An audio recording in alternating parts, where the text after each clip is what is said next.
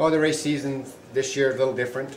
Uh, we'll be off to Yorkton our, our second weekend, and is a little, uh, little farther than everything else. But uh, you don't know till you try it, and uh, from there uh, we're over to Cold Lake and then in Wainwright, and off for Calgary. So we'll be moving down someplace close to Calgary, getting ready for Calgary again. So uh, we did it before, and like last couple of years, been awfully good to me in Calgary, and before that I had some good years. So we'll see what what brings, and then the rest of the race season back home looks good. And uh, like I said, any luck at all, I hope to be in that final four again and uh, finish it off. I've been three years uh, in that second spot all the time, and uh, hope to finish it off and uh, get the truck this year. So see how it goes.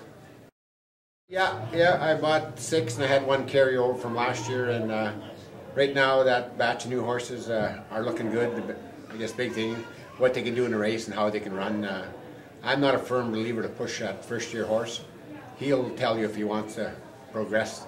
If not, take him slow. Then the second year, expect him to uh, do better.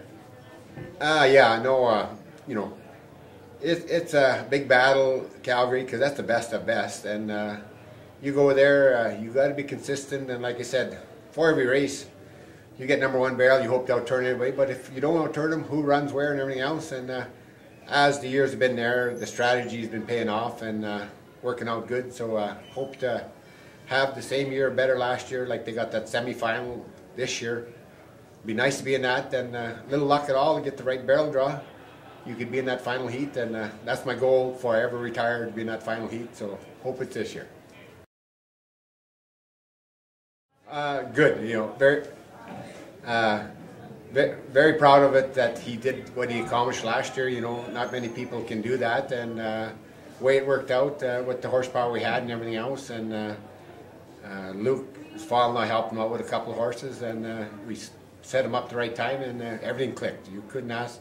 You could. I don't think you'd do it the same thing this year again. So, but very proud of him, and you know he'll he'll do good. He's been there lots already, and he knows what you got to do to be very competitive and uh, with him him being there, it'll be extra workload and everything else, but we'll work around it. We did it before, and uh, like I said, very proud of him being there.